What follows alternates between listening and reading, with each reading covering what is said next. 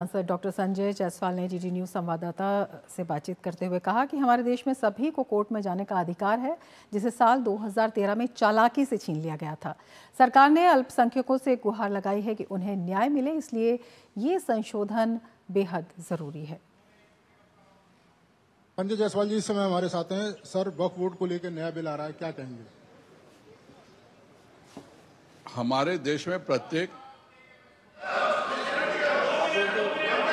आपने कई इस सदन के मेंबर्स को इस महत्वपूर्ण बिल में उन्होंने जो नोटिस दिया, उसको एडमिट करके बोलने का मौका दिया। सबसे पहले तो मैं इनका नोटिस क्यों स्टैंड नहीं करते हैं और जो भी पॉइंट्स उन्होंने यहाँ ऑब्जेक्शन के तौर पर रेज किया यहाँ उसको एडमिट क्यों नहीं करना चाहिए? मैं संक्षेप में बताना चाहता हूँ। उसके बाद जितने भी इश्यूज़ आज यहाँ उठाए गए हैं, उसको मैं आपके अनुमति से, विस्तार से एक एक पॉइंट का मैं जवाब देना चाहूँगा।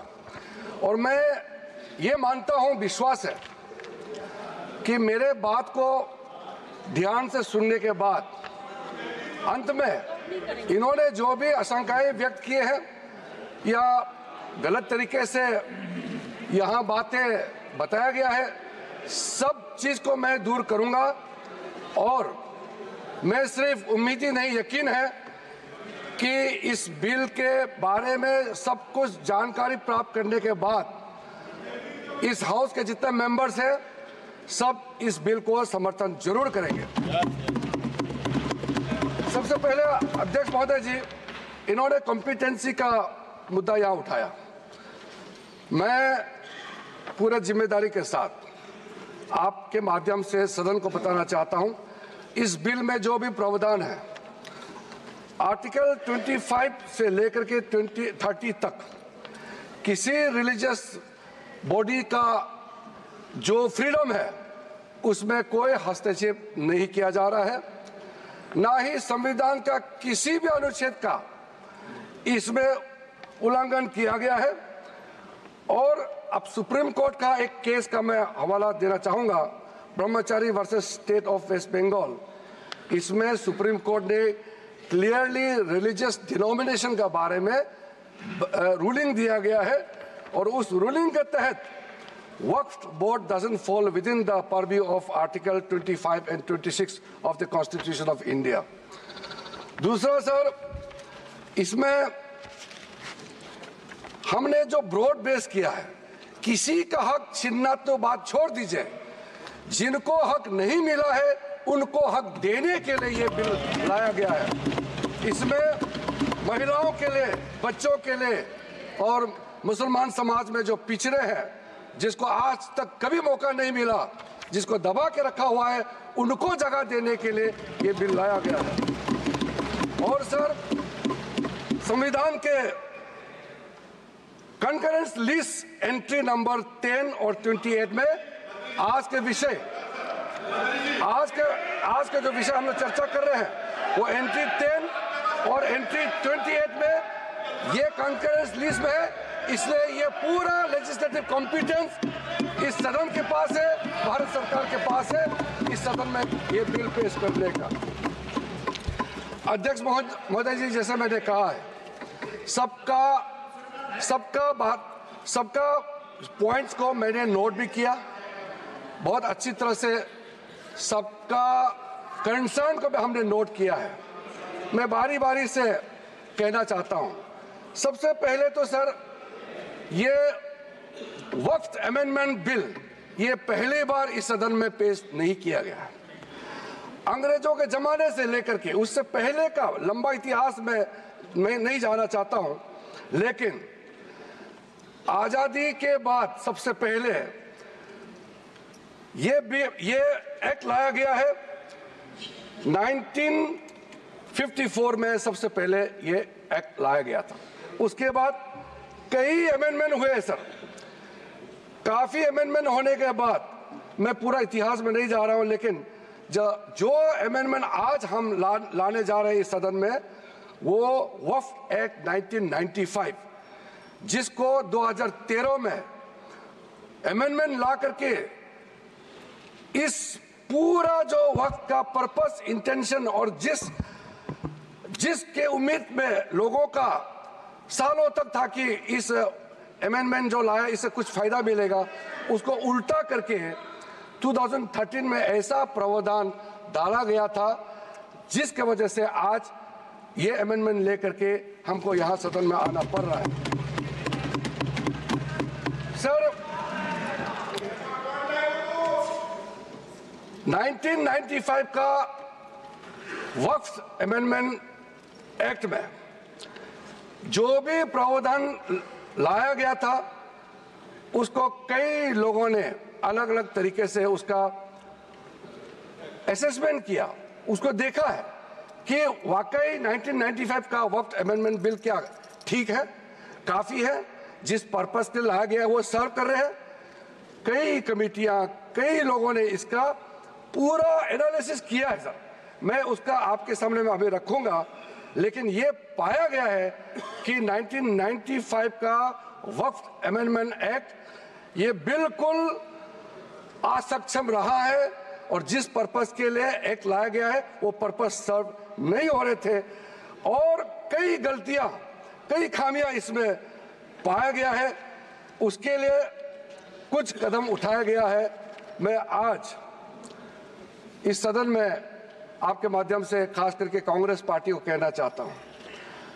ये अमेंडमेंट आज सरकार इस सदन में ला रहे हैं, ये एक तरीके से आप लोगों ने जो भी कदम उठाया है, आप लोगों ने जो भी चाहा है, वो आप नहीं कर पाया, वही चीज़ करने के लिए हम आज ये अमेंडमेंट प्रपोज किया गया अब जब मैं इसका विवरण दूँगा तो आप बिल्कुल सहमत होगा, मैं जो आपके सामने में बात रख रहा हूँ। और दूसरी बात, इसमें हम लोग सब चुने हुए प्रतिनिधि हैं। मैं अपना बात तर्क रखने से पहले ही बताना चाहता हूँ। इस बिल का समर्थन कीजिए। करोड़ों लोगों का दुआ मिलेगा। अगर आप विरोध करोगे, चंद लोगों ने पूरा वक्फ बोर्ड को कब्जा करके रखा हुआ है। और आम मुसलमान लोगों को जो न्याय इंसाफ नहीं मिला उसको सही करने के लिए ये बिल लाया गया है। इतिहास में दर्ज होगा कि ये बिल को कौन कौन समर्थन किया है और किसने विरोध किया है। ये इतिहास में नाम दर्ज होगा। इसलिए इस इस बिल का विरोध करने से पहले आप सोचिएगा, करोड़ों गरीब महिलाओं का, बच्चों का, गरीब मुसलमानों का। सर, सबसे पहले मैं सर जो खामियाँ ये 2014 से लेकर के आज तक ये 1995 अमेंडमेंट एक्ट के बारे में मैं सिर्फ़ नहीं कह रहा हूँ। हमसे पहले कांग्रेस के जमाने में भी कई यहाँ इस इस मुद्दे को लेकर के कमिटियाँ और कम, अलग अलग जगह में इसका विवरण किया गया है। सबसे पहले सर 1976 में 1976 में वफ इंक्वायरी रिपोर्ट पेश किया गया था। और 1976 वक्त इंक्वायरी रिपोर्ट में जो बड़ा रिकमेंडेशन आया है मैं आपके सामने में पढ़ के सुना चा, सुनाना चाहता हूँ। 1976 वक्त इंक्वायरी रिपोर्ट में कहा गया है सारा वक्त बोर्ड्स जो है मुतवालिस के कब्जे में चले गए हैं, उसको डिसिप्लिन करने के लिए प्रॉपर कदम उठाया जाना चाहिए। 1976 वक्त इंक्वायरी रिपोर्ट का दूसरा रिकमेंडेशन है लिटिगेशन और केसेस जो आपस में मतभेद इतना ज़्यादा है, उसको सरल करने के लिए ट्राइब्यूनल सिस्टम को गठन होना चाहिए। उस समय का रिकमेंडेशन था। फिर उसने तीसरे पॉइंट ये कहा कि ऑडिट और अकाउंट्स वक्फ बोर्ड में ऑडिट और अकाउंट्स का तरीका प्रॉपर नहीं है। उसका पूरा प्रबंधन होना चाहिए, ये उस समय का रिपोर्ट में कहा गया है। और आखिरी में it recommended the reforms in the category of waqf अल अल औलाद। बच्चों के लिए जो हम वक्फ देते हैं, उसको सुधार लाना चाहिए। ये 1976 का रिपोर्ट में कहा गया है। उसके बाद, सर, जो हम आज थोड़ा विस्तार में जिस, जिसको मैं बताना चाहता हूँ, दो कमेटियों के बारे में। ये दो कमेटी कांग्रेस के समय में ही बनाया गया था। सबसे पहले high level committee under justice Rajendra Sachar. ये, सर 9 मार्च 2005 में गठन किया गया था। यूपीए का सरकार आ चुके थे। और ये स्पेसिफिक मुसलमानों के लिए, उनके वेलफेयर के लिए ये गठन हुआ। और सचर कमेटी का जो रिपोर्ट है, ये हम सब मालूम है। मैं सिर्फ़ रेलेवेंट पोर्शन आज इस सदन में बताना चाहता हूँ। सचर कमेटी का जो पहला रिकमेंडेशन है, इसमें कहा गया है एनुअल इनकम जितना वक्त बोर्ड का प्रॉपर्टीज़ है 4.9 लाख रजिस्टर्ड वक्त प्रॉपर्टीज़ ये सिर्फ़ 163 करोड़ ही आमदनी जनरेट होता है। ये किसी भी रूप से जस्टिफाई नहीं किया जा सकता है और इसको एफिशिएंट तरीके से मार्केट तरीके से, जिस तरीके से मैनेज होना चाहिए सारा वक्त प्रॉपर्टी को, अगर सही माने में उस समय उन्होंने कहा, उस सच्चर कमेटी ने। तो उस समय बारह हज़ार करोड़ रुपया पर एनम मिलता है। और उस समय जनरेट हो रहा था 162 करोड़। लेकिन मैं साथ साथ ये भी कहना चाहता हूँ, क्योंकि वो कमेटी की रिपोर्ट है। और मैं माइनॉरिटी अफेयर्स का मंत्री होने के नाते जो हम लोगों ने स्टडी किया है, total eight lakh seventy two thousand three hundred twenty waqf properties हमारा जो वामसी, जो पोर्टल है, उससे पूरा डिटरमिन नहीं किया जा सकता है। लेकिन उसका मार्केट वैल्यू सचर कमेटी ने जो कहा है, उससे कई गुना अधिक होने का संभावना है। ये एक आम अंडरस्टैंडिंग का बात है। सबको मालूम है वक्त के पास कितना प्रॉपर्टी है वक्त बोर्ड के पास, और कितना आमदनी है। दूसरा, सर सचर कमेटी का रिकमेंडेशन सचर कमेटी ने आप यूपीए का समय में ही आपने कमेटी का रिपोर्ट एक्सेप्ट किया। उसमें कहा गया कि अभी जो मौजूदा वक्त बोर्ड है, उसको ब्रॉड बेस किया जाना चाहिए। जो लोग मेंबर होते हैं, जो लोग इस कमेटी में, जिस वक्त बोर्ड में है उससे काफ़ी नहीं है। इसलिए इसका ब्रॉड बेस होना चाहिए। रिप्रेजेंटेशन ज़्यादा होना चाहिए। ये सचर कमेटी का रिपोर्ट का पहला नंबर पॉइंट इसमें सर, दो महिला दो महिला सेंट्रल वक्त काउंसिल और स्टेट वक्त बोर्ड में होना चाहिए। यह भी सचर कमेटी का ही रिकमेंडेशन है। सेक्रेटरी जो होते हैं सेंट्रल वक्त काउंसिल का, वो joint secretary level government of India का उस स्तर का ऑफिसर होना चाहिए। उसमें अंडर सेक्रेटरी का जूनियर ऑफिसर लेवल जो बनाया है, उसको आप रैंक को ज्वाइंट सेक्रेटरी लेवल तक उसको उठाना चाहिए। ये उसी कमेटी का रिपोर्ट में आया है। और जो स्टेट में वक्फ बोर्ड है, उसमें क्लास वन ऑफिसर होना चाहिए। सचर कमेटी ने सीधा सीधा ये कहा है कि प्राथमिकता महिलाओं और बच्चों को दिया जाना चाहिए। हम आज का जो बिल आपके सामने में पेश कर रहे हैं ये उसी सचर कमेटी का रिपोर्ट के अनुसार सेम परसेंट हम यहाँ आपके सामने में लाया जा रहा है और आप हम आपको तो खुश होना चाहिए। ये कमेटी आपने बनाया। सर सर ये आप, सर हमने हमने शांति से इनकी बात सुना।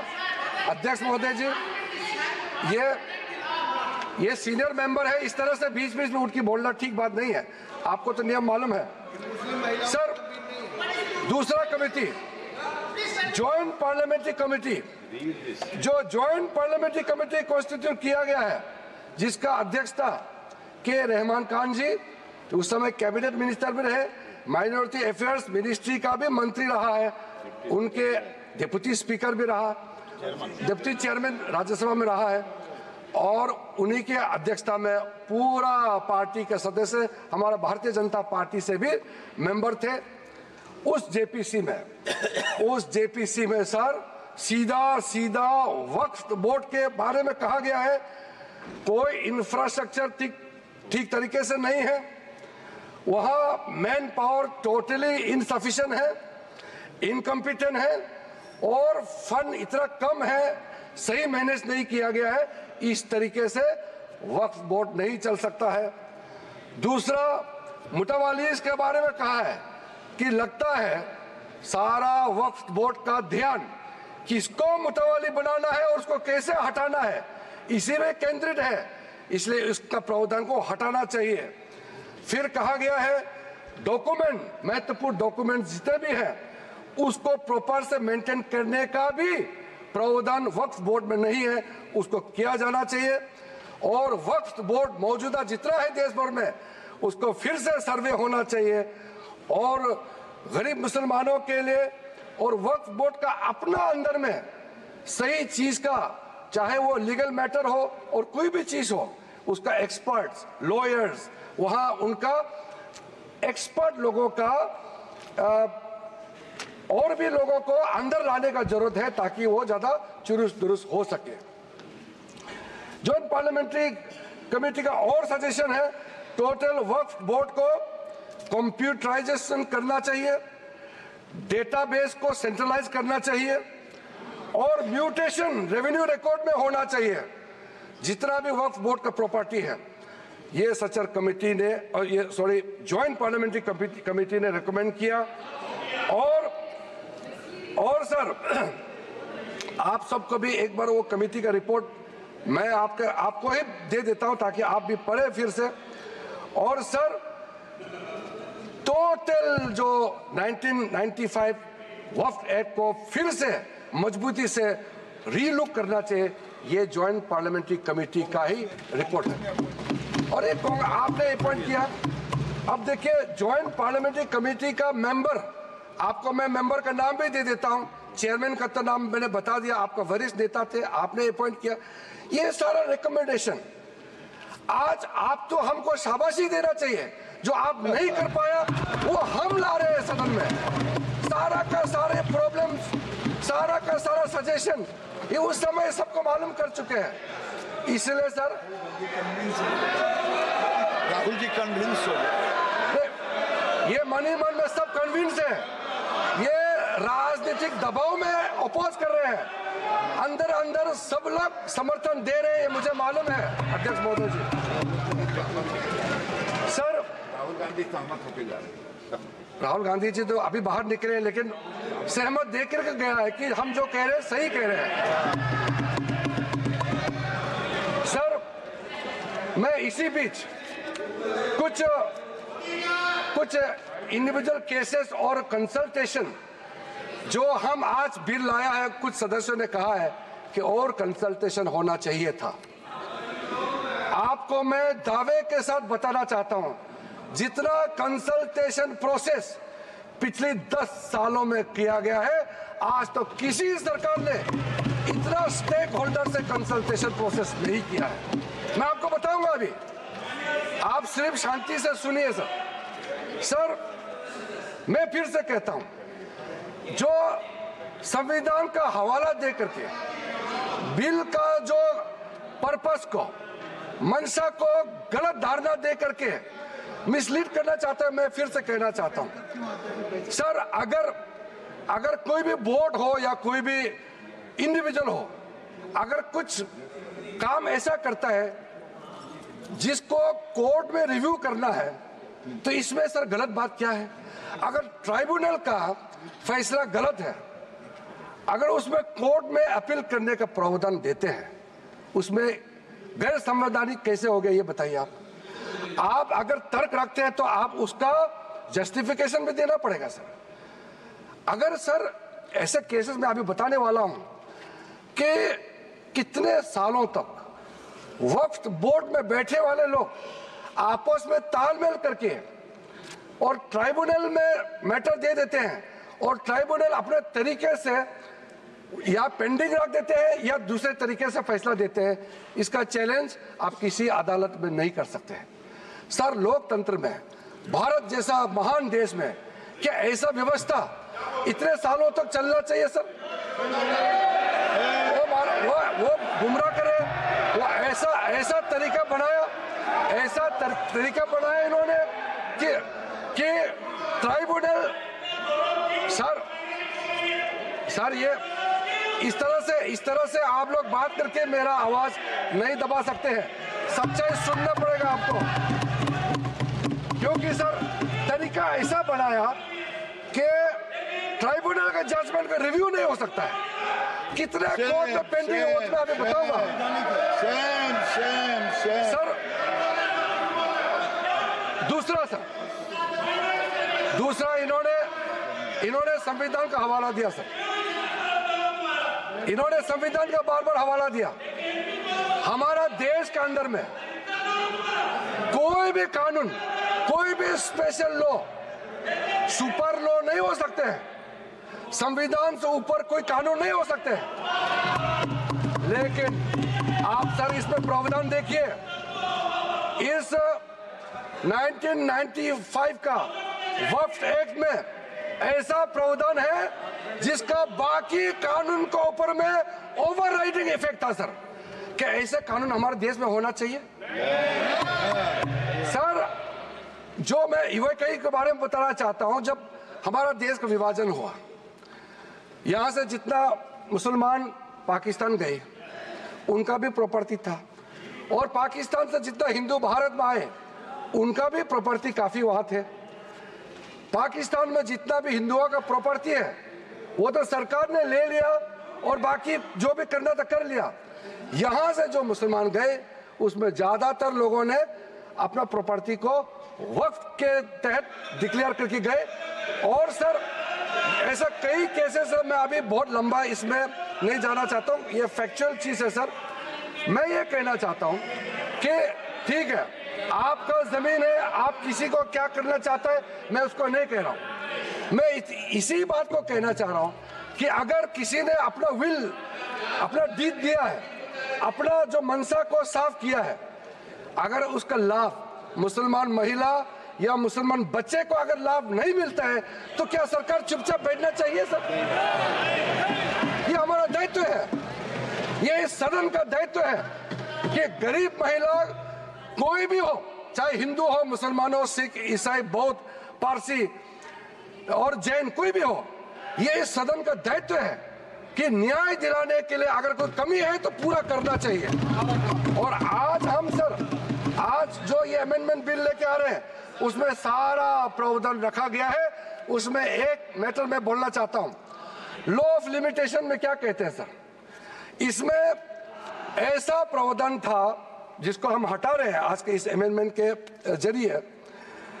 लॉ ऑफ़ लिमिटेशन में ऐसा था पुराने कानून में कि इतने साल तक तो आप अगर अगर कोई अपील नहीं किया या उस समय उसका कुछ, बीच में कुछ घटना हो गया या पुराने बहुत साल हो गए। अब लॉ ऑफ़ लिमिटेशन तो होना चाहिए ना सर कहीं सीमा तो होना चाहिए। लेकिन इन्होंने ऐसा किया कि मान लो मान लो कोई खड़ा होकर कहेगा कि 500 साल पहले मेरा बाप दादा का इस जगह में कोई कार्यक्रम चलता था, नमाज़ पढ़ा था या किसी ने कुछ किया है, सिर्फ़ एक बात बताने पर पूरा वो जगह को वक्फ प्रॉपर्टी डिक्लेयर किया जाता था। ऐसा नहीं कर सकते लॉ ऑफ़ लिमिटेशन भी इसी संसद ने बनाया है। और लॉ ऑफ़ लिमिटेशन को भी ओवरराइड कर दिया था। ये 1995 वफ्त एक्ट ने सर।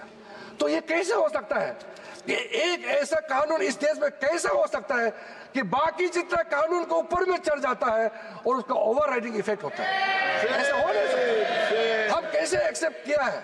इतने सालों तक तो ये सर एक अच्छा समय है जो गलती किया है। ठीक है? इंसान से गलती हो जाते हैं और पार्टियों ने भी गलती किया होगा, कांग्रेस पार्टी ने, बाकी पार्टी ने। आज सुधरने का समय है। तो हम सुधर ला रहे हैं। गलतियाँ हुई हैं, लेकिन जो सुधरते समय कम से कम आप विरोध ना करें, सर। और sir, section section 108 special provision under waking property act 1950 उसको सर हम लोग हटा रहे हैं। क्योंकि ऐसा सेक्शन हमारा देश का किसी कानून में, किसी भी स्टेचुट बुक में नहीं रहना चाहिए, सर। उसके बाद, सर सर, उसके बाद मैं कुछ ऐसा इश्यूज़ पे जाना चाहता हूँ जिससे हमारे सारे सदन को सुन करके उनको कन्विंस होगा, सर। सर आप आप, सर, इनको थोड़ा चुप करें बीच बीच में इस तरह का कहना सीनियर मेंबर है। सर, अब हम, सर, बड़ा विषय पे जाना चाहता हूँ, सर। ये, हमने जो कंसल्टेशन का प्रोसेस किया है, मैं पुराने दिनों के बारे में नहीं कह रहा हूँ 2014 के बाद, कितने लोगों से हज़ारों लाखों लोगों से या तो आप मंत्रालय के ओर से जाके उनके साथ कंसल्टेशन किया या वो रिप्रेजेंटेशन लेकर के मंत्रालय में आए और उनके बात को हमने सुना है। सर पिछले एक साल के अंदर में पिछले सिर्फ़ एक साल के अंदर में online complain 194 complaints related to encroachment and illegal transfer of work land एक साल के अंदर में और 93 complaint against waqf board officials and 279 एक जनरल कंप्लेंट ये ऑनलाइन हमारे पास में पोर्टल में आया है। उसके बाद सर, आज आज सर, ये ये एक समुदाय का बात मुसलमानों को गुमराह करके यहाँ बात रखा जा रहा है। कल रात तक, कल देर रात तक मेरे पास में मुसलमानों का डेलीगेशन आते रहा। और हमसे पहले भी कितने लोग मिले और इसको आप ये सोचते हैं कि क्या, सर, ये क्या बोहराज कम्युनिटी का संख्या कम है? इस, इसके लिए ये महत्व नहीं देंगे क्या? सर अहमदिया ये कम संख्या है, इसलिए क्या उनका सोच, उनका प्रॉब्लम्स का नजरअंदाज करेंगे, सर? सर आगा कहानी संख्या कम है। क्या उसके बात को नहीं सुना सुना जाना चाहिए, सर? एक कम्युनिटी डोमिनेशन करके अगर छोटे छोटे लोगों को कुचल देंगे तो फिर हम इस सदन में बैठ करके हम न्याय कैसे दे सकते हैं? इसलिए ये एक तरफा आवाज़ उठा करके पूरा मुसलमान के नाम से ये लोग एक तरफा, ये कुछ चंद लोगों का आवाज़ यहाँ आज बुलंद कर रहे हैं इस सदन में, सर। सर, जो जो वक्फ वक्फ बोर्ड के बारे में, वक्फ बोर्ड के बारे में कई लोगों ने ज़िक्र किया है। लेकिन प्राइवेटली इसमें भी कई ऐसा नेता है जो मुझे आके कहा है कि देश में जितना स्टेट वक्फ बोर्ड है, सब माफिया लोगों ने कब्जा कर लिया है। ये बहुत लोग कह रहे हैं, आज सदन में नहीं कह रहे हैं। सदन में अपना अपना पार्टी का दबाव या किसी के डर से या वोट बैंक का चक्कर से नहीं बोल रहा है। मगर प्राइवेटली हर एक मुसलमान आकर के कहता है नाम मत बताना ना, नाम तो हम बताएँगे नहीं सर। मैं मैं आप लोगों का पॉलिटिकल इशियर में खराब नहीं कर दूँगा। कौन कौन सा एमपी ने मुझे आके बताया कि पार्टी विरोध कर रहा है लेकिन अंदर से हम साथ दे रहे हैं। मैं नाम नहीं लूँगा। मैं एमपी साथियों का पॉलिटिकल करियर को मैं बर्बाद नहीं करूँगा सर। सर कंसल्टेशन का जहाँ तक आता है सर। सबसे पहले सबसे बस बस हो गया।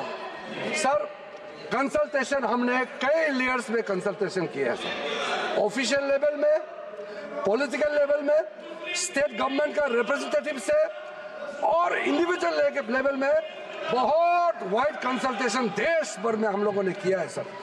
मेरे का, मुझे इस मंत्रालय में आए हुए अभी लगभग दो महीने हुए हैं, लेकिन जो कंसल्टेशन प्रोसेस हमारे हमारे से पहले जो मंत्री थे इस मंत्रालय के, सब लोगों ने बहुत बारीकी से समस्याओं का भी पहचान किया और कंसल्टेशन प्रोसेस भी बहुत ब्रॉड ब्रॉड बेस किया है, सर।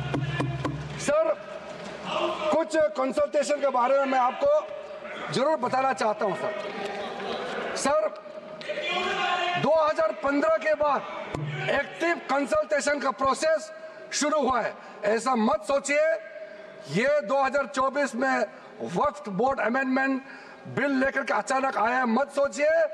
ये मैं आपको बताने वाला कितना एक्सटेंसिव एक्सरसाइज कंसल्टेशन करके आज ये बिल आपके सामने में पेश कर रहे हैं, सर। इसमें, सर अलग अलग समुदाय के जितना मैंने नाम लिया, सर अहमदियास है बोहरास पसमंदास आगा खानीज, वुमेन रिप्रेजेंटेटिव्स, और जितने पिछड़े मुसलमानों के अंदर में सबसे लेकर के 19 स्टेट और यूनियन टेरिटरी के वक्फ बोर्ड के चेयरमैन सीईओ और उनके और भी ऑफिशियल रिप्रेजेंटेटिव, सबसे बात शुरू किया है, सर। 2015 में, पटना में कंसल्टेशन प्रोसेस किया। फिर उसके बाद में 16 अप्रैल में, नई दिल्ली में, फिर 12 तारीख, अक्टूबर 2015 में श्रीनगर, जम्मू कश्मीर में इसका कंसल्टेशन का बैठक हुआ। उसके बाद 2015 में 11 नवंबर का दिल्ली में, फिर उसके बाद 7 जनवरी 2017 में, फिर दिल्ली में 8 मार्च 2018 दिल्ली में। इस तरीके से फिर 13 जुलाई 2023 में मुंबई में उसके बाद 2024 जुलाई 23 में फिर लखनऊ में उसके बाद फिर 7 नवंबर 2023 नई दिल्ली में सर। और ये जो प्रोसेस है लखनऊ यूपी में ही है। ल- लखनऊ उत्तर प्रदेश में ही है अखिलेश जी लखनऊ उत्तर प्रदेश का राजधानी है सर आप मुख्यमंत्री रहे हैं वहाँ। सर। सर 2023 जो लेटेस्ट कंसल्टेशन जो हुए हैं, मैं थोड़ा सा बारे में बताना चाहता हूँ। इसमें सर जनरल पब्लिक जो आम मुसलमानों के साथ चर्चा हुई, क्योंकि हमारा मंत्रालय ने खुला, खुले मन से कहा कि इंडिविजुअल लेवल में भी आपका कोई इशू है। आप आ सकते हैं, आप बात रख सकते हैं मंत्री के साथ मुलाकात कर सकते हैं और अधिकारियों के साथ आप मिल सकते हैं। उस समय, सर, मुंबई में representative of from the general public के साथ साथ और भी ऑफिशियल से भी हमारी बैठक हुई। और उसमें स्टेट वक्फ बोर्ड को इम्प्रूव करने के लिए और कदम क्या क्या उठाना चाहिए उसका सुझाव वहाँ में आया। लखनऊ में जब बैठक हुई, लखनऊ में उत्तर प्रदेश स्टेट वक्फ बोर्ड के जो बाकी टॉप लेवल से भी सबसे बात हुई चेयरमैन सीईओ और आम लोगों से भी वहाँ सुनवाई हुई और वो भी बहुत एक्सटेंसिवली वहाँ बात हुई। और वहाँ ये वामसी पोर्टल आपका जो इंफॉर्मेशन वगैरह जितना हम शेयर करते हैं, ये सब के बारे में, वक्फ बोर्ड के प्रॉपर्टी के बारे में, कैसे उसका यूटिलाइजेशन होना चाहिए, कैसे मेंटेनेंस होना चाहिए, सारा चर्चा हुए रिकमेंडेशन दिए कि ये अमेंडमेंट का ज़रूरत है। आपके लखनऊ से भी रिकमेंडेशन आया है। उसके बाद सर, दिल्ली में मंत्री जी का अध्यक्षता में जो सेंट्रल वर्क काउंसिल का चेयरपर्सन होती है, उनकी अध्यक्षता में यहाँ दिल्ली में बैठक हुए विज्ञान भवन में बैठक हुए और उसमें काफ़ी इश्यूज़ है जो मैंने आपके सामने में रखा। सारे के सारे इश्यूज़ उसी दौरान हर स्टेट मैं अधिकारी का नाम नहीं बताऊँगा, मगर मैं स्टेट का नाम ज़रूर बताना चाहता हूँ। आंध्र प्रदेश से आए, आपके, आप सुनने का क्षमता रखेंगे तो मैं तो आप लोगों ने इतना सवाल किया, मुझे तो लगता है कि कम से कम तीन घंटा मुझे बोलना चाहिए। इतना आप लोगों ने गलत धारणा यहाँ में फैलाया है। सर सर, आंध्र प्रदेश, असम से, बिहार से बिहार में सुनने वाला आए दिल्ली का गुजरात, हरियाणा, हिमाचल प्रदेश, जम्मू कश्मीर, कर्नाटका, मध्य प्रदेश, महाराष्ट्र उड़ीसा पंजाब, राजस्थान, तमिलनाडु, त्रिपुरा, तेलंगाना, उत्तराखंड और उत्तर प्रदेश का शिया और उत्तर प्रदेश सुन्नी दोनों इस बैठक में पार्टिसिपेट किया।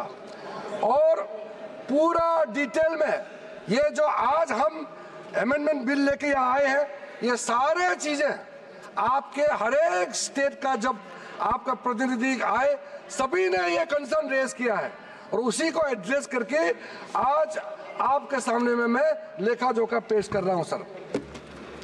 और सर, मैं आपको ये भी बताना चाहता हूँ कि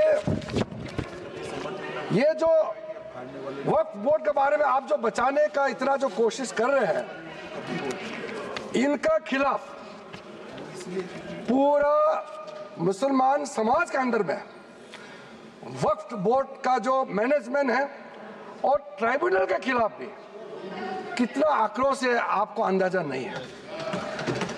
इसमें सर इंडिविजुअल केसेस मैं कुछ केसेस आपको सामने मैं ज़रूर बताना चाहूँगा ताकि वो दर्द आप भी महसूस करें। सर, जो कुछ केसेस मैं आपके सामने में लाना चाहता हूँ, वो आप आप सबको जानना चाहिए एक इंसान होने के नाते। सबसे पहले तो अहमदियाज की ओर से कई रिप्रेजेंटेशन जो मेरे पास आए हैं, हमारा मंत्रालय में जो है, उसमें खास करके state work board Karnataka Kerala, Telangana और तमिलनाडु। यहाँ से जो रिप्रेजेंटेशन आया है, वो हमारा सेंट्रल वर्क काउंसिल में भी केस है और नेशनल कमीशन फॉर माइनॉरिटीज यहाँ में भी इस केस को दर्ज किया गया है और वो चल रहा है, इसलिए मैं उस पर डिटेल में अभी मैं कहना नहीं चाहता हूँ। दूसरा, सर, एक इंडिविजुअल केस है, बोरा समाज का, सर। मुंबई में एक ट्रस्ट है 1944 में उस समय हाई कोर्ट ने सेटल कर दिया गया, सर। उसका स्टेटस साफ़ करके रखा हुआ है। और आप लोग सब जानते हैं, दाऊद इब्राहिम का नाम, वो उसके आसपास वहाँ रहते थे। और वो प्रॉपर्टी सेटल हो चुके हैं। और बाद में माननीय प्रधानमंत्री नरेंद्र मोदी जी आने के बाद महाराष्ट्र के लिए बहुत बड़ा काम शुरू किया और एशिया का लार्जेस्ट क्लस्टर डेवलपमेंट स्कीम का उसी जगह में लॉन्च किया गया है। और ऐसा समय में, ऐसा समय में जो आदमी इस प्रॉपर्टी से कोई लेना देना नहीं, गुजरात में किसी एक ने इस प्रॉपर्टी के खिलाफ में वक्फ बोर्ड में कंप्लेन कर दिया और फिर वक्फ बोर्ड ने नोटिफाई कर दिया इस चीज़ को। अब आप सोचिए सर, जो आदमी ना वो शहर में रहता है ना इतिहास में उस प्रॉपर्टी से कोई लेना देना है। ना वो राज्य में रहता है। कहीं और का है और एक डेवलपमेंट प्रोजेक्ट को कंप्लेन करके वक्फ बोर्ड के माध्यम से इंटरफेयर करके डिस्टर्ब किया। आप सोच के देखिए, और वो कम्युनिटी के लोग जो हमसे मिलने आते हैं, उसका दिल के अंदर में कितना दर्द होता होगा। मैं मिलने का समय में मुझे, मैं समझ में आ गया था कि ये इसका क्यों सॉल्यूशन नहीं हुआ। दूसरा, सर ये मीडिया में भी सर।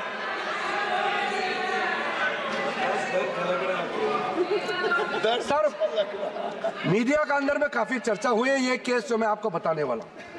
तमिलनाडु के अंदर में तिरुचेंतुराई इन तिरुचि तिरुचि, तिरुचिरापल्ली डिस्ट्रिक्ट है तमिलनाडु में। वहाँ 1500 साल पुराना सुंदरेश्वर टेंपल मंदिर वहाँ मौजूद थे।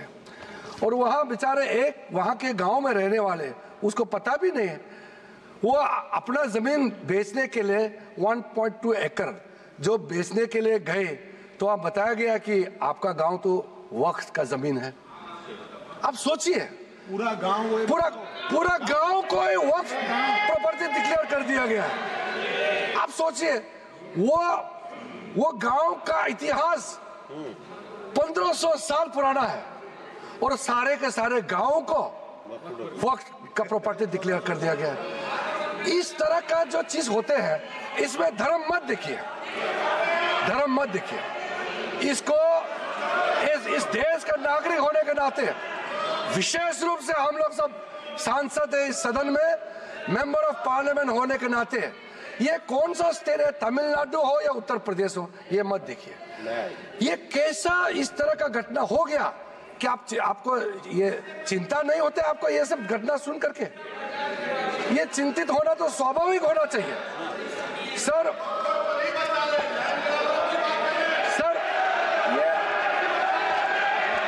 सर ये ये सुन नहीं पा रहे हैं। और विषय को भटकाने के लिए तरह तरह का बातें यहाँ किया जा रहा है। सर सूरत म्यूनिसिपल कॉरपोरेशन के बारे में सोचिए ये तो कोई ये सब कोई प्राइवेट लैंड तो है ही नहीं। सूरत म्यूनिसिपल कॉरपोरेशन का पूरा हेडक्वार्टर को वक्फ प्रॉपर्टी डिक्लेयर कर दिया गया है। आप सोचिए सर, ये कैसे कर सकता है? आप सोच सकते हैं क्या? देखिए, मैं मैं बाय डेफिनेशन मैं एक बहुत हूँ। मैं एक बहुत हूँ। मैं हिंदू भी नहीं हूँ, मैं मुस्लिम भी नहीं हूँ, मैं क्रिश्चियन भी नहीं हूँ, लेकिन मैं सब धर्म को मानता हूँ। लेकिन इसको आप लोग बार बार धर्म को लेकर के धर्म को लेकर के मत देखिए। कोई भी कोई भी इस देश का नागरिक सरकारी जो म्यूनिसिपल कॉरपोरेशन क्या कोई किसी का प्राइवेट प्रॉपर्टी है? हो सकता है म्यूनिसिपल प्रॉपर्टी का ज़मीन आप कैसे वक्त डिक्लेयर कर सकते हैं सर? राजा। आप बैठिए डिस्टर्ब मत कीजिए फ़ायदा नहीं है। फ़ायदा नहीं है मैं अभी ये नहीं करूँगा। सर मैंने शांति से आप लोगों का बात सुना है। सर, कर्नाटका कर्नाटका स्टेट का तो कमाल है, सर, आप सुनिए ध्यान से। कर्नाटका स्टेट का 2012 में कर्नाटका माइनॉरिटी कमीशन का रिपोर्ट का सुनिए। जो रिपोर्ट मेरे सामने में आए हैं 2012 में Karnataka, Karnataka state minority commission की रिपोर्ट में कहा गया कि कर्नाटका वक्फ बोर्ड ने 29,000 एकर्स ऑफ़ लैंड को कमर्शियल पर्पस में कन्वर्ट कर दिया। और इसको अगर आप हिसाब किताब करोगे तो आप समझ सकते हैं। लेकिन सबको मालूम है वक्त प्रॉपर्टी को किस पर्पस में आप इस्तेमाल कर सकता है? ये रिलीजियस पर्पस के लिए चैरिटेबल पर्पस के लिए और पायस पर्पस के लिए यूज़ कर सकते हैं।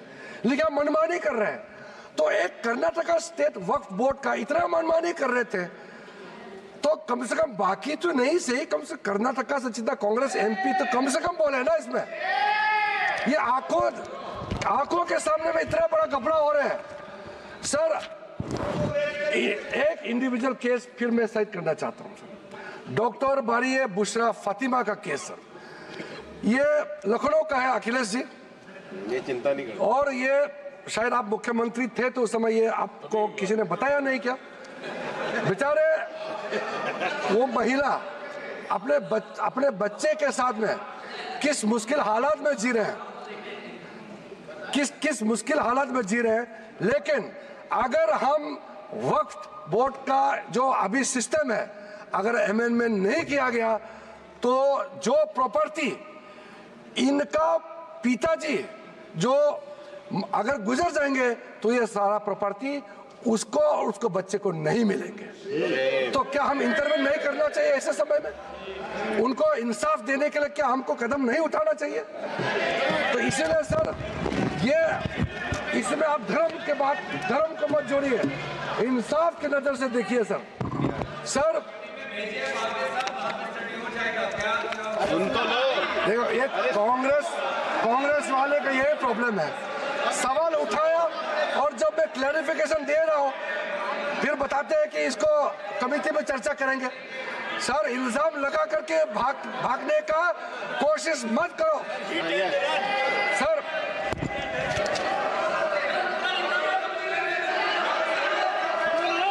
सर हमारे पास में मैं समझता हूँ पार्लियामेंट्री कमेटी में देखिए सर अध्यक्ष महोदय मेरा जवाब के बाद हम क्या करना है, आपके परमिशन से हाउस का सेंस से लेकर के आगे हम बढ़ेंगे। मगर जो इन्होंने इतना मेंबर्स आपके परमिशन के बाद बोला, झूठ बातें, झूठे बातें प्लस भ्रम भ्रम असत्य बात असत्य है। ठीक है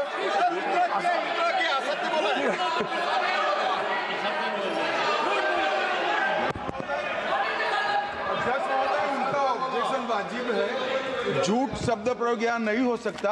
सत्य नहीं है ऐसी बातें जो बताए इससे रिप्लेस कर लेना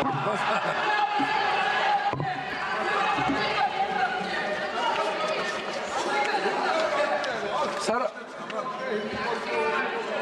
तो सर वो बात अभी गृह मंत्री जी ने भी क्लैरिफाई किया है। असत्य और भ्रामक बोल दीजिए ना। असत्य आप बात किया वो आप भी मान लीजिए असत्य है। सर और भ्रामक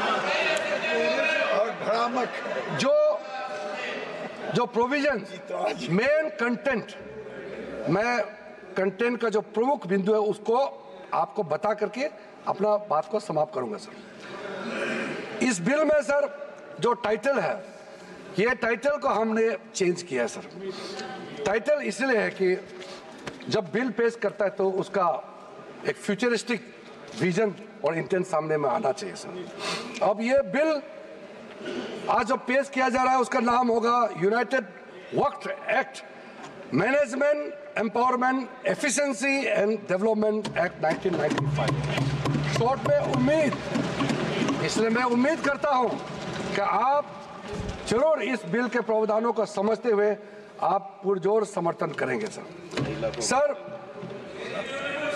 एक टाइटल एक एक एक टाइटल जो है, हमने डेफिनेशन में जो चेंज कर रहे हैं, जो भी किसी भी प्रॉपर्टी को जो अगर आप डिक्लेयर करना चाहते हैं तो डिक्लेयर करने का आपका अधिकार तो होना चाहिए। 2019 में जो चेंज किया, वो बहुत डेंजरस था सर 2013 में क्या किया? कोई भी आदमी वक्त डिक्लेयर कर सकता है। हमने कहा, बिल्कुल नहीं कर सकते जो मुसलमान है, वही वक्त क्रिएट कर सकते हैं और नॉन मुसलमान नहीं कर सकते। नहीं तो सर, ये फ्यूचर में जब जवाब देते समय हम डिटेल बोलेगा कि इसका डेंजरस कॉनोटेशन क्या हो सकता है। और किसी को भी आप वक्त टाइटल डिक्लेयर करने के लिए इजाज़त देंगे तो फिर ये कैसे हो सकता है सर? इसलिए हमने हमने पुराना सिस्टम ये 2013 का हम पुराने सिस्टम में, पुराना डेफिनेशन में वापस जा रहे हैं सर। सर अब सर इन्होंने इन्होंने कलेक्टर्स के बारे में काफ़ी कलेक्टर्स के बारे में काफ़ी आपत्तिजनक उन्होंने याद दर्ज कराया। कलेक्टर जो डिप्यूटी कमिश्नर होते हैं, क्या कोई कोई पर्टिकुलर पॉलिटिकल पार्टी अपॉइंट करते हैं क्या? वो रेवेन्यू उसी के पास रहते हैं जी। रेवेन्यू का रिकॉर्ड कलेक्टर के पास ही रहते हैं सर और ये बोलते हैं कि कलेक्टर के पास ये ये रेवेन्यू वाला काम कलेक्टर को नहीं देना चाहिए। तो कलेक्टर का काम क्या है, बताइए फिर। आप बताइए, कलेक्टर बनाया इसलिए रेवेन्यू रिकॉर्ड देखने के लिए? मुझे समझ में नहीं आया किस चीज़ को विरोध कर रहे हैं, सर। ये रेवेन्यू ऑफिसर होते हैं। सर, इसलिए सर, जब जब सर्वे कमिश्नर का, सर्वे कमिश्नर का कामकाज को लेकर के इतना जो रिकमेंडेशन मैंने बताया, वो ऑब्जेक्शन सिर्फ़ हमने नहीं किया। जितना कमेटियाँ आपने बनाए हैं पार्लियामेंट्री कमेटी ज्वाइंट कमेटी बनाया पार्लियामेंट में क्वेश्चंस आया है अलग अलग तरीके से रिप्रेजेंटेशन आया है, ये सब आपके समय के हैं। उसी समय में ही सचर कमेटी बनी है। उसी ने कहा है कि प्रॉब्लम सर्वे कमिश्नर में है। इसलिए रेवेन्यू रिकॉर्ड का साथ जोड़ के सारा प्रॉपर्टी का वैलिडेशन होना चाहिए और कल, जिला कलेक्टर को इसमें लाना चाहिए ये आप ही का रिपोर्ट है। हम तो सिर्फ़ इंप्लीमेंट कर रहे हैं सर। इसलिए इतना उत्तेजित होकर के आप लोगों को यहाँ अपोज करने का कोई ज़रूरत नहीं सर। सर दूसरा सर इस इस प्रावधान इस बिल में हमने जो एक प्रावधान रखा है ट्राइब्यूनल्स जो बने हैं, हम ट्राइब्यूनल को खत्म नहीं कर रहे हैं। पहले ट्राइब्यूनल में तीन मेंबर होते थे। अब हम प्रावधान रख रहे हैं कि इसमें एक जुडिशियल और एक टेक्निकल मेंबर होगा। और अगर वो वो समझ में नहीं आया, मैं अभी, सर, उसमें हमने ये कहा है कि जो जो टेक्निकल मेंबर है, अगर वो एबसेंट होता है तो एक जुडिशियल सर इनको मालूम नहीं है इस देश में जितना भी ट्राइब्यूनल बनाते हैं कमीशन बनाते हैं वो रिटायर्ड जज ही बनाया जाता है। जितना ट्राइब्यूनल में उसमें टेक्निकल मेंबर जो होते हैं वो अधिकारी को बनाया जाता है लेकिन जो जुडिशियल मेंबर होता है वो रिटायर्ड जज ही होते हैं। इतना तो समझना चाहिए पाँच बार एमपी हो चुके हैं। सर सर हम लोग हम लोग साथ साथ इतना तो जानना चाहिए। हम लोग एक समय चुन के आए एक एक समय हम लोग एक साथ में आए थे। अभी तो इसको ये मालूम नहीं। है sir sir total case tribunals के अंदर में 12,792 केसेस आज वक्त बोर्ड्स में पेंडिंग है। 19,207 ट्राइब्यूनल्स में पेंडिंग है। क्यों इसको हम लोग डिस्पोज नहीं कर सकते? हैं क्या आप चाहते कि ऐसे ही पड़े रहे? आप सोचिए सर। इसलिए सर सर सर टाइमलाइन हमारे लिए बहुत ज़रूरी है। न्याय मिलना चाहिए, लेकिन समय पे न्याय मिलना चाहिए। इसलिए सर, इस नए बिल में प्रावधान किया मैं सदन में आपके माध्यम से रखना चाहता हूँ। अब हमने टाइमलाइन सेट कर दिया है। फाइलिंग जो है फाइलिंग जो भी होता है उसका अपील 90 डेज़ के अंदर में होना चाहिए और डिस्पोजल ऑफ़ द केसेस छह महीने के अंदर होना चाहिए। अब ये बिल पास होने के बाद ये जो हज़ारों केसेस पेंडिंग है इसका पूरा का पूरा साफ़ हो जाएगा निवारण हो जाएगा सेटलमेंट हो जाएगा। इसमें क्या दिक्कत है? जल्दी न्याय मिले तो ठीक है ना? सर दूसरा इंपॉर्टेंट बस मैं अगर अगर ये सुनना नहीं था तो इतना सवाल क्यों पूछा फिर? इतना पूछा तो कम, कम से कम सुनना चाहिए। आप सवाल पूछ के भाग जाना चाहते हो ऐसा हम करने नहीं देंगे। आप भाग जाने से भी हम बोलते रहेंगे अपना बात इस में पूरा रखेंगे हम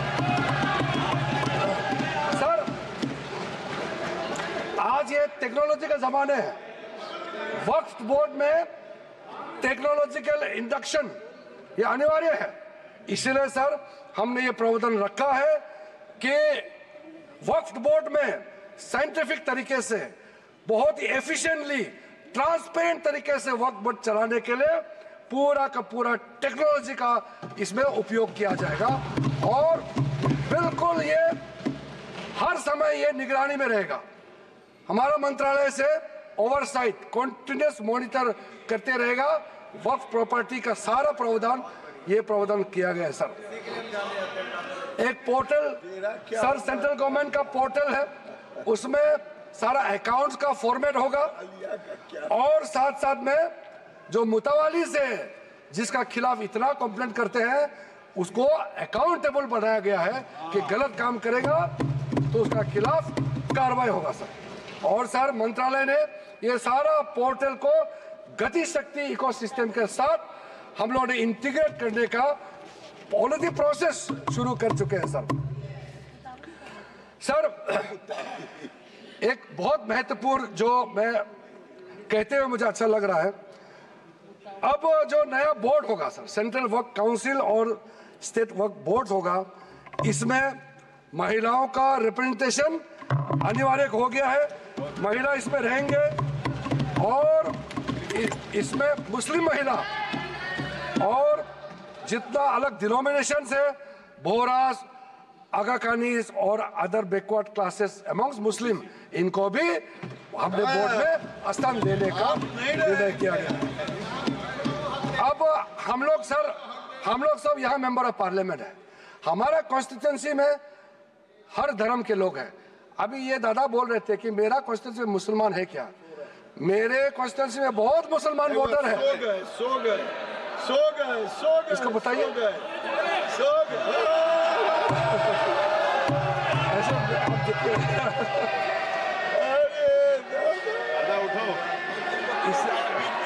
इसलिए मैंने कहा ना दादा आप हर समय मत बोलिए नींद आ जाएगा आपको। सर हैं हम लोग सर जो महत्वपूर्ण बात मैं कहना चाहता हूँ सर सर मैं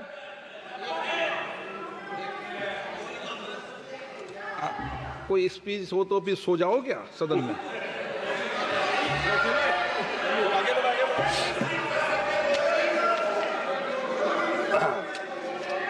वो कल कल रात क्या कर रहे थे मैं नहीं पूछूँगा उसको। सर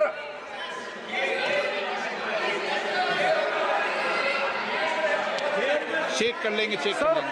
चेक कर लेंगे। पॉलिटिकल रिप्रेजेंटेशन चेक कर लेंगे चेक कर लेंगे। ब्रोदर पॉलिटिकल रिप्रेजेंटेशन हमारे लिए ज़रूरी है। हो गया हो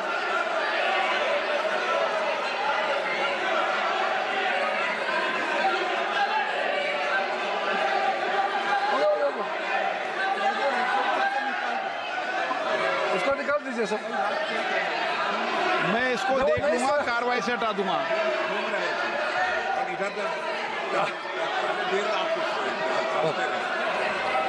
और रात भर पढ़ रहे थे किताब पढ़ रहे थे मैं क्या कर सकता हूँ? मैंने उसको कार्रवाई से हटा दिया है प्लीज़ प्लीज़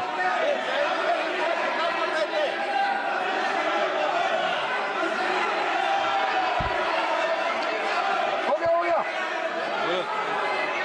सर मैं पॉलिटिकल रिप्रेजेंटेशन के बारे में कहना चाहता हूँ। कॉन्स्टिट्यूंसी में? हिंदू भी हो सकता है, मुसलमान हो सकता है, क्रिश्चियन हो सकता है, बौद्ध हो सकते हैं, पारसी, सिख, सब हो सकते हैं। इसीलिए मेंबर्स ऑफ़ पार्लियामेंट को किसी भी धर्म से जोड़ना सही नहीं है। हमने ये नहीं कहा कि वक्त बोर्ड में इस धर्म को, इस धर्म को लेके आना चाहिए। हम नहीं कह रहे हम ये कह रहे मेंबर ऑफ़ पार्लियामेंट वहाँ मेंबर होना चाहिए। अब वो मेंबर ऑफ़ पार्लियामेंट अगर हिंदू है या अगर क्रिश्चियन है तो हम क्या कर सकते हैं? अगर किसी कॉन्स्टिट्यूंसी से किसी एमपी को चुन के भेज दिया by virtue of being member of parliament अगर वो बोर्ड में मेंबर होता है तो क्या हम उसको चेंज कर देना चाहिए उसके धर्म को? ये एक बेसिक बात है सर इसलिए सर ये बिना बिना मतलब का ये इशू उठा रहे हैं सर उसके बाद सर अब मैं सर एक इंपॉर्टेंट बात बताना चाहता हूँ। वक्त बोर्ड को अच्छा से चलाने के लिए वहाँ टैलेंटेड लोग चाहिए, जानकारी लोग चाहिए। ऐसे किसी को आप उठा करके किसी वक्त में मेंबर नहीं बना सकते हैं सर इसके लिए जो रिकमेंडेशन हमको मिला है, हर हर कमिटी और जो जेपीसी से भी रिकमेंडेशन मिला है, मैं उसी को बता रहा हूँ। Diversified talent pool administrative skill वाला जो जिसका अच्छा नॉलेज है ऐसे लोगों को हम लोग बोर्ड में लाना चाहिए। अच्छे ऑफिसर्स को वक्त बोर्ड को मैनेज करने के लिए उनको ऑफिसर के हिसाब से वहाँ नियुक्त होना चाहिए। ये सब बातें हमने रखा है। ये सारा आपका रिकमेंडेशन है। हम बार बार कॉल आप, आपको बता रहे हैं याद दिला रहे हैं। आपका रिकमेंडेशन है। इम्प्लीमेंट हम कर रहे हैं। आपको समझ में नहीं आ रहा है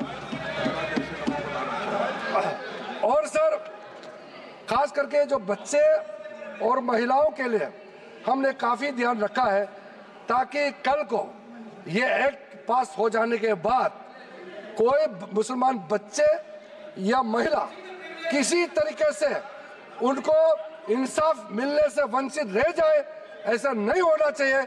इसके लिए ठोस प्रावधान हम लोग ने यहाँ रखा गया है।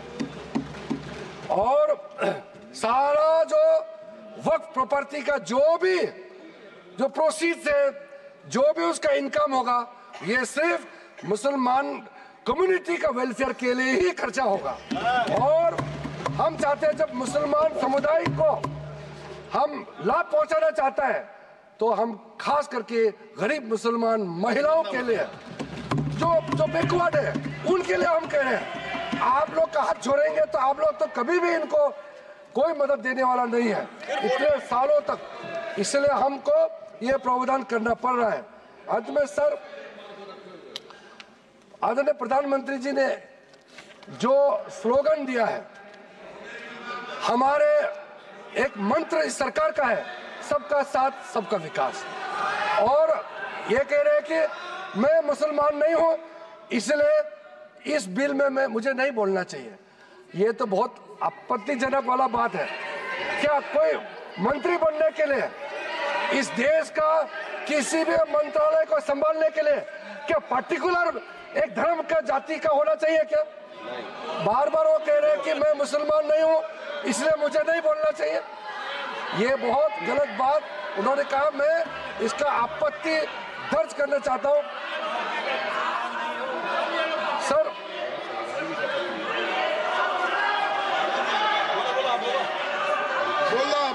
इसलिए सर इस इस बिल को, इस बिल को इस सदन में रखते समय मुझे बहुत ही खुशी तो मिल रही है।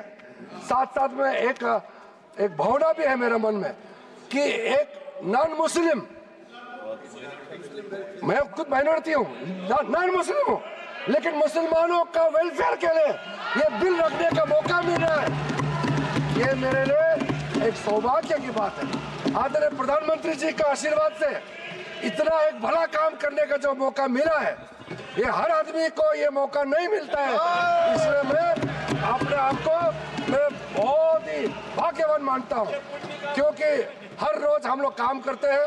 इस सदन में बैठ करके बारह बजे तक, रात तक हम लोग डिबेट डिस्कशन करते हैं।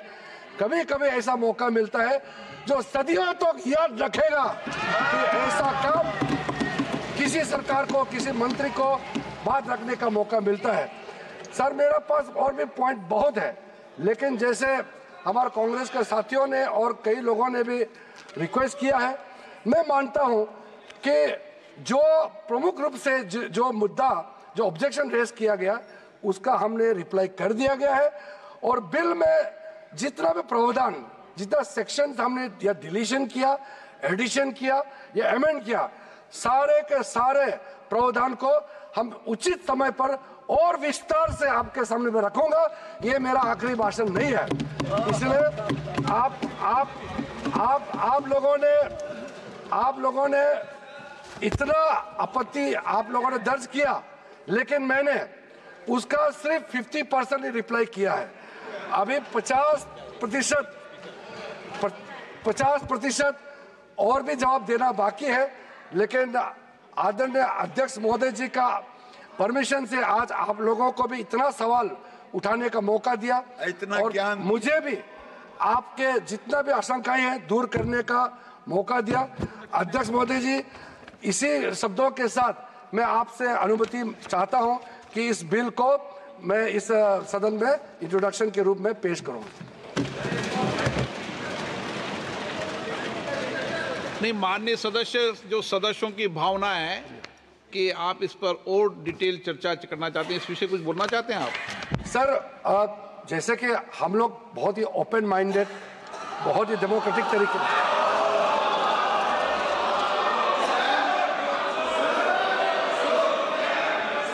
सर, एक सर, ये जो इनका बर्ताव है, इसको देख करके मैं एक बात कहना चाहता हूँ। हम तो नए नए एमपी बन के आए थे, हम पीछे बैठते थे पुराने सदन में। जब यूपीए का नया नया सरकार बना था, हम लोगों ने कुछ रिक्वेस्ट किया। और सदन में उनके नाम नहीं लेना चाहता हूँ, जो सीनियर लीडर है, उन्होंने सदन में उठ के कहा, आप लोग का काम अपोज करना है, लेकिन सरकार सुने ना सुने, सरकार का मर्ज़ी है। उस समय आप लोग कहते थे। आज हम इतना खुले दिल से कह रहे हैं कि आपने रिक्वेस्ट किया, सारा सदन सबने कहा कि इस बिल पे और भी चर्चा होना चाहिए स्कूटनी होना चाहिए। क्यों नहीं? हम इसके लिए भागने वाला नहीं है, क्योंकि इसमें हमारा मनसा साफ़ है, हमारा कदम साफ़ है। किस चीज़ से डरना है? किसी भी कमिटी में जाके इसको स्क्रूटनी करना है।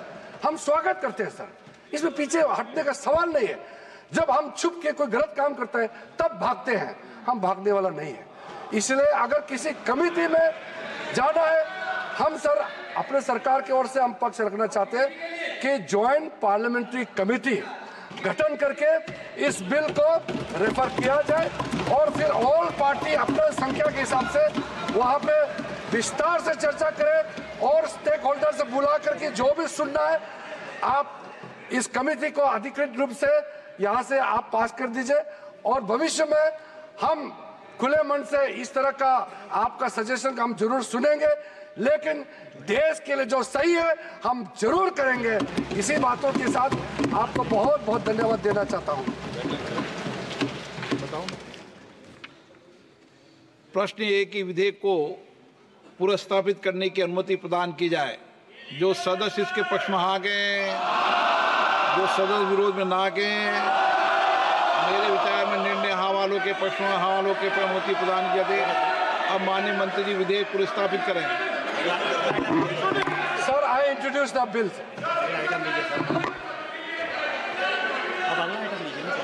Item number 14 Shri Kiren Rijiju ji committee में जा रहा है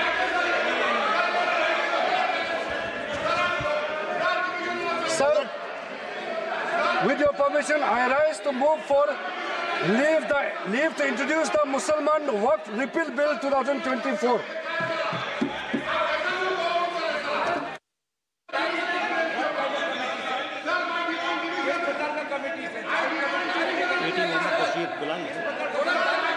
Mohammed Basheer item number 14 पे बोलना चाहते हैं। इंट्रोड्यूसर दूसरा बिल है दूसरा बिल है छोड़िए सर अगला लीजिए next Benny Behanan no. K Radhakrishnan no. Saugata Roy ji. Sir ये जो बिल है मुसलमान वाका बिल को वापस लेने की। ए, वैसे भाई मुझे बोलने में फिर तुम बोलो ना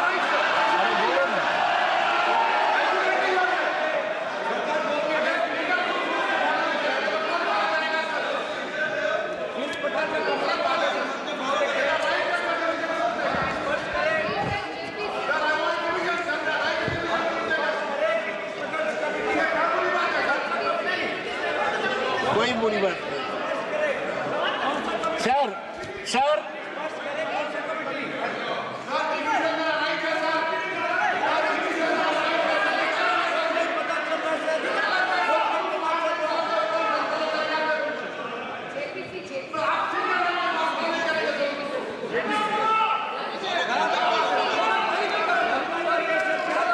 अभी मंत्री जी प्रस्ताव लाएँगे।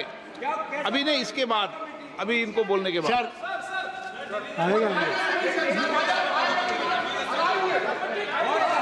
Sir, under Rule 72.1, I oppose the introduction of this bill on Musalman. एक मिनट अभी वह प्रस्ताव ला रहे हैं। इस कमेटी में ये ये बिल और वह बिल एक ही है। ये हाँ। बिल सेकंड पार्ट उसको नहीं ये सेकंड एक ही बिल है। रिपील करने का बात रिपील करने का। हाँ। न सर मैं दो ही चीज़ बोलने चाहता हूँ। ये संदेह ये होता है कि सरकार मुसलमान वाकफ प्रॉपर्टी पर कब्जा करने चाहते हैं। सारा देश में वाकफ बोर्ड के हाथ में 8.7 लाख प्रॉपर्टी है। इसका पूरा एरिया है 9.4 लाख एकर्स अक्रॉस इंडिया और इसका एस्टिमेटेड वैल्यू है 1.2 लाख करोड़ सरकार इस पर दखल लेने चाहते हैं। इसलिए कलेक्टर का बात जो बोला पहले तो कलेक्टर नहीं था तो सरकार इसमें इंटरफियर करने चाहते हैं। और ये बोलते हैं कि दो मुस्लिम वीमेन और two non Muslim members on the board ये नॉन मुस्लिम मेंबर बोर्ड में जाएगा तो आपका बोर्ड का जो सैंक्टिटी वो खराब हो जाएगा। If it's a Muslim property gifted by a Muslim for the benefit of Muslim ये नॉन मुस्लिम नहीं होना चाहिए। Sir it also introduces the district collector as an arbiter to decide if a property is a waqf और government land इसलिए ये bill को मुसलमान वाकफ act bill को विद्रॉ करने का जो कोशिश है मैं उसको पूरा विरोध करता हूँ। किरण रिजिजू एक घंटा बोला है हमारे कलीग वाईसी साहब पहले वाला बिल में डिवीज़न मांगे हैं उसको भी मैं पूरा समर्थन करता हूँ। ये बहुत सेंसिटिव बिल है। ये बहुत सेंसिटिव बिल है। इसमें कोई जल्दीबाजी, कोई ज़बरदस्ती तो लोकसभा से आप सीधा प्रसारण देख रहे थे, जहाँ पर वक्फ बोर्ड संशोधन बिल पर चर्चा लगातार जारी है। केंद्रीय मंत्री किरण रिजिजू ने सरकार का पक्ष रखा और उन्होंने कहा कि सभी से बातचीत करके ये संशोधन बिल लाया गया है और उन्होंने ये भी कहा कि इसमें धर्म के आधार पर किसी भी धर्म में दखलंदाजी नहीं है, बल्कि जिनको हक नहीं मिला है, उनके हक की बात कही गई है। वक्त की संपत्तियों का जो दुरुपयोग है, उसको रोकना उद्देश्य है और जो संपत्तियों का व्यावसायिक उपयोग किया जा रहा था, उसकी मैपिंग जो है, वो अपने आप में बहुत ज़रूरी हो गई थी। इसके साथ ही। उन्होंने ये भी कहा कि बहुत सा डेटा ऐसा आया था कि वक्फ की जो संपत्ति है और जो रेवेन्यू है, उसमें जो डिफरेंस आता है, वो अपने आप में कई सवालों के घेरे में था। तो पारदर्शिता लाने के लिए और सबका हक सुनिश्चित करने के लिए और इस दिशा में जो गरीब मुस्लिम हैं, उन्हें न्याय मिले। महिलाओं को भी इसमें शामिल करने की बात कही और इसके साथ ही उन्होंने सच्चर कमेटी की और पार्लियामेंट्री कमेटी की जो सिफारिशें थी, उनका भी उसमें ज़िक्र किया। तो इस प्रसारण में फ़िलहाल इतना ही और अब निखिल आ चुके हैं हमारा खास कार्यक्रम इस वक्त लेकर सीधे चलते हैं निखिल के पास। निखिल? बहुत शुक्रिया रबा और दर्शकों नमस्कार, आपका बहुत स्वागत है इस खास कार्यक्रम इस वक्त में, डीडी न्यूज़ का ये हमारा खास कार्यक्रम है इस वक्त और मैं, निखिल सिंह इस इस कार्यक्रम को लेकर आपके सामने आया हूँ। और सबसे ख़ास बात है कि आज का जो इस वक्त है वो बेहद विशेष रहने जा रहा है क्योंकि अभी आपने देखा कि संसद में किस तरह से जो वक्फ संशोधन बिल है, उसको लेकर के चर्चा शुरू हो चुकी है। तो आज के इस वक्त में हम उस विषय पर भी विस्तार से चर्चा करेंगे कि आखिर क्या है इसमें खास बात, क्यों आखिर, हंगामा इस पर बरपाया है विपक्ष ने और वक्फ बोर्ड